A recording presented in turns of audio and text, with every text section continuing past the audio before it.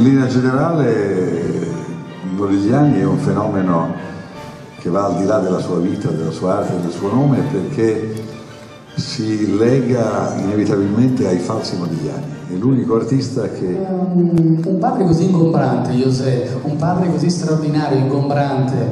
Abbiamo visto questo speciale su, addirittura sul TG1, tra l'altro molto lungo perché mi sembra che sia 11 minuti. Quindi lo spazio wow. Ascolti, beh, vuoi essere Mario del Monaco, ma eh, non si può avere Non potuto parlare senza microfono. Felice e che è una collaborazione ormai che è diventata continuativa per il progetto Fenice Educational, portiamo la Fenice in tutta la città metropolitana, è la prima volta che esce dal suo teatro per andare incontro alle persone in un contesto che non è quello classico della musica, cioè il teatro La Fenice e il teatro Magra. Lui, cioè l'apostolo che lui amava e al di là di tutto è la passione che arriva al mistero.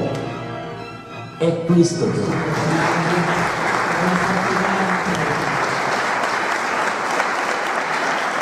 Un sorso d'aceto e un caffè scorretto. Un sorriso d'aceto. È un sorriso, l'abbiamo cambiato oggi il titolo, ce ne siamo accorti.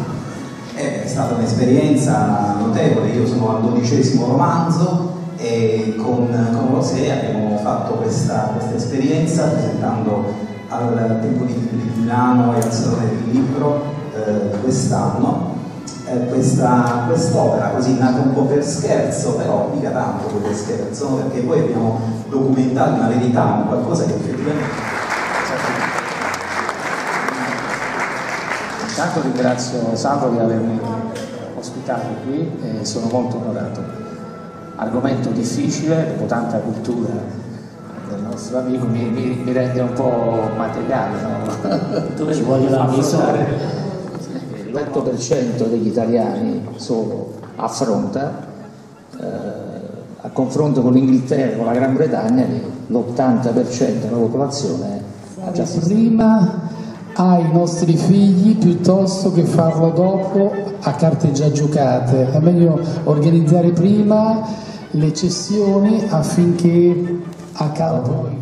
Io aspetto che apra la casa della fotografia a Milano per fare un dialogo con Miami, perché in realtà quello che è poco considerato in Italia è la parte fotografica. La fotografia ha perso molto grazie a quello che è stato il suo sviluppo incredibile determinato dal cellulare che tutti abbiamo in tasca ma una cosa che ha fatto Salvo con Sgarbi è stato portare la mostra di Pasolini a Miami qualche anno fa. Un caloroso applauso da tutti voi, Fabio di Natale, facciamoci un applauso.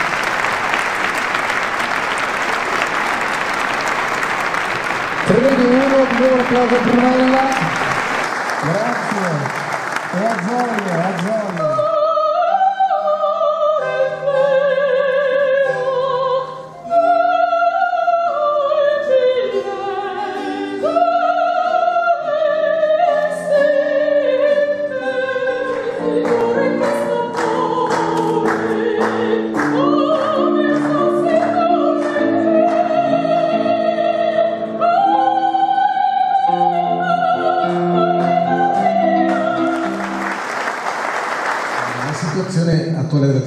Forse sono dei piccoli segreti, ma sostanzialmente fino ad oggi tutto quello che vediamo in televisione si basa, c'è tutto il volume d'affari enorme che gira intorno a quello che viene proposto in televisione si basa sull'Auditel, che sono tuttora...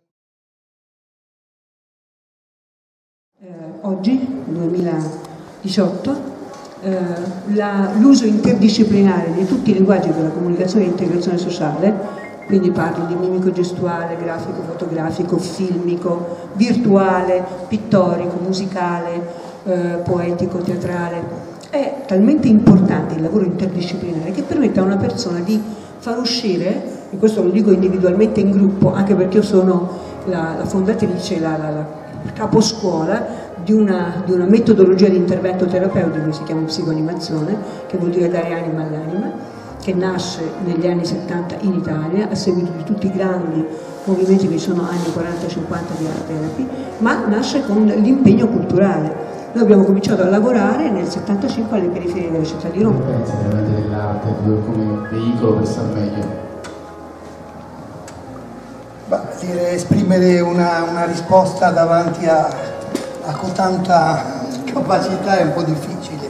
Devo dire soltanto questo, che forse seguendo i suggerimenti di mia madre e di mio padre, e che per non cadere mai nel malessere diciamo, attuale, forse il segreto è quello di rimanere bambino. Mi atterrò da voi con una frase, la prima frase che ho sentito in un bar, da un tizio che non conoscevo, a Roma entra un signore di quelli romani proprio buongiorno a tutti meno che a uno e quindi io mi accomiaterà da voi dicendo la stessa cosa.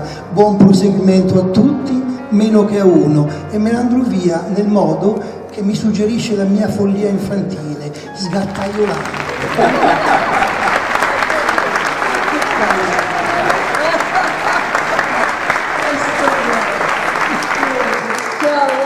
E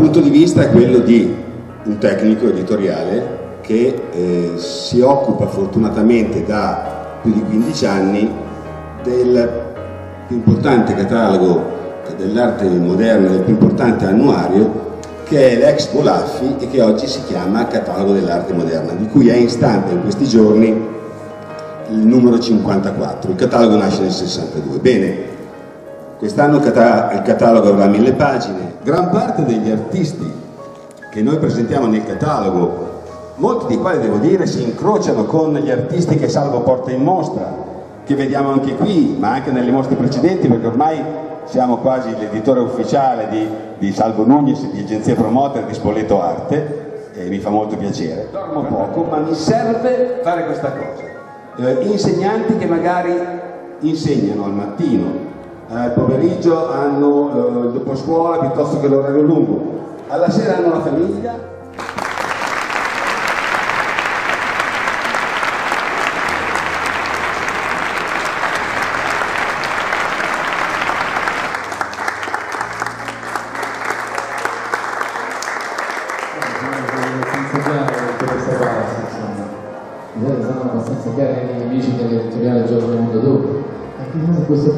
Stefano voleva chiudere un saluto a tutti voi e vede alla prossima nello studio di Passi dove ciao a tutti grazie